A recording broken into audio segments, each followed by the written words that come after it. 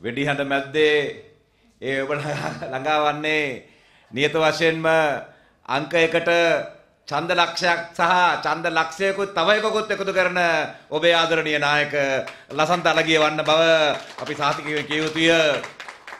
මධ්‍යාන නිසා ඉරිදා නිසා මධ්‍යාන ආහාරය අරගෙන නිසා සෙනග ටිකක් අඩුයි ඇමතුමනි. ඒ වෙනාට ගෙවල් වලට වෙලා ගෙවල් වල ජනෙල් වලින් රෙදිත් එහා තිර කඩෙන් එහා පැත්තේ අහගෙන ඉන්න සෙනගකුත් ඉන්න බව පේනවා. ඒ නිසා ඒ අයට ඇහෙන්න මේ කියන්නේ මේ අපේ සෙනග අපි ඔක්කොමල්ලා නොවැම්බර් මාසයේ අපි තෝරාගත්තා වූ සම්පූර්ණ ජයග්‍රහණයට අපි එකතු වෙලා ඉන්නේ ඒක විජයග්‍රහණය කරන්නට. ගෝඨාභය රාජපක්ෂ නම් වූ සෙන්පතියා දැන් මාතෘ භූමිය වෙන මේ නාවිකාව සෞභාග්‍යයේ වරාය කරා සේන්දු කරන්නට ඔහු කපිතාන්වරයෙක් බවට පත් වී හිටිනවා. එහෙනම් ඒ කපිතාන්වරයාට සහයෝගය දක්වන්න අපි පෙරගමන් කරුවන් සහ නාවිකයන් එකතු කළ යුතුයි. අන්න ඒ ගමන තමයි මේ කරමින් ඉන්නේ. ඒ නිසා අගෝස්තු මාසයේ 5 වෙනිදා අපි කළ යුතු අංක 1 යුතුයකම මොකද්ද? පොහොට්ටුවට කතරයක් දෙන එක. ඒක විතරක් ඇද්ද? ඒක මදි. ඔබ මෙතන අනිවාර්යෙන් ඒ යුතුයකම කරන බව මම දන්නවා. නමුත් තවමත් සමහරක් අය ඉන්නවා ටෙලිෆෝනයේ සීනු මේ නාදය ලැබෙන තුරු සීන බලාගෙන ඉන්න අය. තවත් අය ඉන්නවා වල්මත් වෙලා ඉන්න අලියා දිහා බලාගෙන. ඒ අයට ගිහිල්ලා කියන්න අම්මේ තාත්තේ විහිළු කරන්න එපා. නංගියේ මල්ලියේ හීන දකින්න එපා. අපි අගෝස්තු 5 වෙනිදා ආසන 120ක් අනිවාර්යෙන් ලබාගෙන ප්‍රබල ආණ්ඩුවක් පිහිටවනවා. ඒ ආණ්ඩුව කලින් තිබුණු ආණ්ඩුව වගේ නෙමෙයි සුමන්ද්‍රන් එක්ක ගනුදෙනු කරන්නේ නැහැ අපි. අපි රිෂාඩ් බදුර්දීන්ගේ ආගම්වාදයට යට වෙන්නේ නැති ආණ්ඩුවක් අපි පිහිටවනවා. අන්න ඒ ආණ්ඩුවේ ප්‍රබල නායකයෙක් වෙන්න තමයි රසන්ත අලගිය වන්න ගම්පහ දිස්ත්‍රික්කයෙන් මහා රහසනයෙන් ඔබේ ප්‍රදේශයෙන් පත්විය යුත්තේ. අන්න ඒ නිසා පස්වෙනිදා බදාදා පිල්ලයාර දෙවියන්ගේ ගණ දෙවියන්ගේ දවස නුවණ ඇතුව ගිහිල්ලා නුවණකාර වැඩක් කරන්න මගේ රට මගේ මව්බිම ඔබේ නිජබිම ඔබේ මවුරට බේර ගන්නා වූ මේ අභිමානවත් ගමනේ ඉතුරු වැඩ කොටස කරන්නට. ශ්‍රී ලංකාව පිහිටා තිබුණ භූමි ප්‍රදේශය අනුව ඓතිහාසිකව සහ මුළු ශිෂ්ටාචාර හතරක්ම එකට ගොමු වුණු යොමු වුණු තැනක්. එක පැත්තකින් ඇලෙක්සැන්ඩර්ගේ දේශය ප්ලේටෝ සොක්‍රටිස් ඇරිස්ටෝටල් වැනි අය ගෙනාපු දර්ශනය. තවත් පැත්තකින් චීනයේ සේදමාවතේ කොන්ෆියුසියස්ගේ අරහා ආපු චින්තන දහරාව. ඉන්දියාවේ දඹදිව චාණක්‍ය මහවීර අප දෝතමදා බුදුන් මදින බුදුන් නැති කරපු ඒ ශිෂ්ටාචාරය මේ ශිෂ්ටාචාර තුනම එක් කරගත්තා වූ කේන්ද්‍රයක් මගේ මව්බිම ඔබේ මව්බිම. එහෙනම් ඒ මව්බිම රැකගැනීමේ වගකීම අපට තිබෙනවා.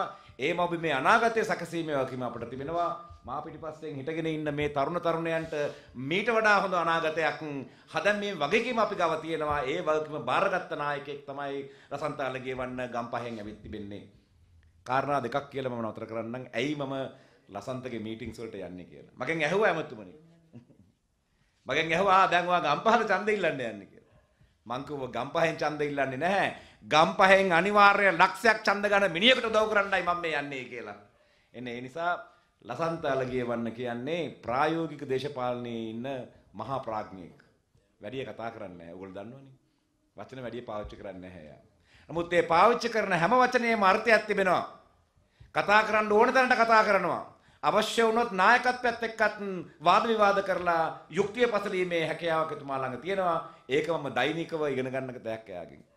දෙවනි කාරණය ස්මාර්ට්ෆෝන් අතේ තියෙන ලෝකයේ මාධ්‍යකාර සහෝදරවරු මෙතන ඉන්නවා. මාධ්‍ය ජඩ වෙමින් තිබෙන බව අපි දන්නවා. මාධ්‍ය දැන් කරන්නේ මොකද්ද කියලා ඔක්කොමල්ල දන්නවා. නමුත් ඒ මාධ්‍ය තුලින් පවා අබමල් රේණුවක් මේ වෙනතුරු ගොසිප් එකක් කේලමක් සූදුවක් දූෂණයක් වංචාවක් කටකතාවක් නැති පිරිසුදු අවංක නායකයෙක් කියලා කියන්න පුළුවන් වර්ෂයේ ඉන්න පළමු පෙළේ ඉන්න නායකයෙක් ඔබේ ප්‍රදේශයේ නායකයා. එන නිසා අපට පාර්ලිමේන්තුවක් අවශ්‍ය වන්නේ හුදෙක් අප්පුඩි ගහන්නයි, මිරිස් කුඩු ගහන්නයි, පිහියෙන් යන ගන්නයි, වතුර බෝතල් පෙරලන්න නෙමෙයි. බුදුන් වැඩිය මේ දේශයේ අනාගතය රැක ගන්නට අවශ්‍ය කරන ශිෂ්ටාචාරයක් ගොඩනගන්න නම් අපි අලගිය වන්න මැනි ඇඳුම විතරක් නෙමෙයි හදවත පමණක් නෙමෙයි චරිතය පමණක් නෙමෙයි ආත්මය පිරිසිදු වුණු දේශපාලඥයන් අපි පාර්ලිමේන්තුවට යවිය යුතුයි. අන්න ඒක නිසා අම්මේ තාත්තේ සහෝදර සහෝදරිය පස්වෙනිදා ඔබ කළ යුතු කාර්යයක් තිබෙනවා. පොහොට්ටුවට කෙලින් කතරේ යවන්න.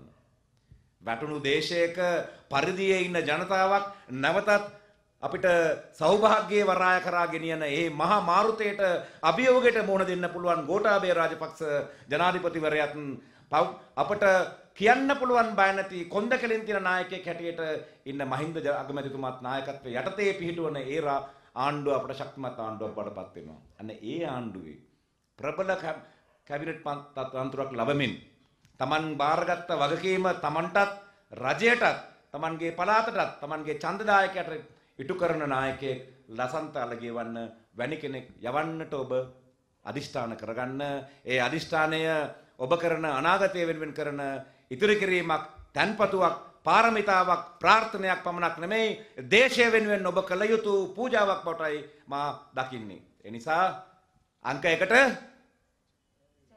නිදිද? නැගිටින්නකෝ. අංක 1ට ජය වේවා. ලසන්ත අලගේ වන්නට. මගේ මාතෘ භූමියට ජය වේවා. ස්තුතියි.